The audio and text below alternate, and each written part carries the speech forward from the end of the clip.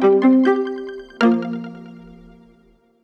next 100 years in healthcare are going to be amazing. We're going to see significant changes. I think it's all going to be centered around one word and. So let me give you some examples. We're no longer going to be educated in individual silos. We're going to be educated together as a collaborative team, and we're going to be practicing in the actual clinical settings in that way.